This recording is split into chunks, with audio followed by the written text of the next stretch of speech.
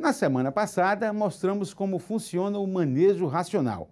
Hoje vamos conhecer uma técnica de manejo que ainda está sendo implantada em algumas fazendas, mas que já está dando o que falar.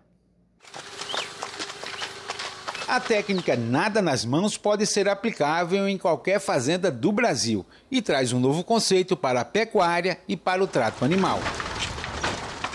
Mas tem uma história aí, Cis, que o Marcelo está contando para a gente, que é o seguinte, que daqui a pouco vai manejar o gado sem nada nas mãos. Tu acha que dá?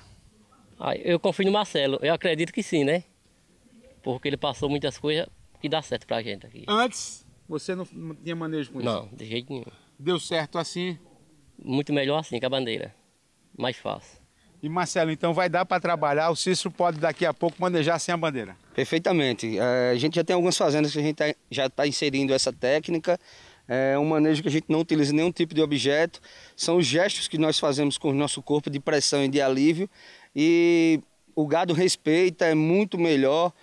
Porém, a fazenda que não trabalha com nenhum tipo de manejo racional, se já começar a adotar um manejo com bandeira, já é um grande passo para aumentar os seus resultados produtivos e financeiros também. Muito bem, então todo mundo ganha aí, o vaqueiro fica menos rouco. Perfeitamente. E vocês veem que já tem gado entrando ali. É um gado que está é, tá bem está aqui no curral.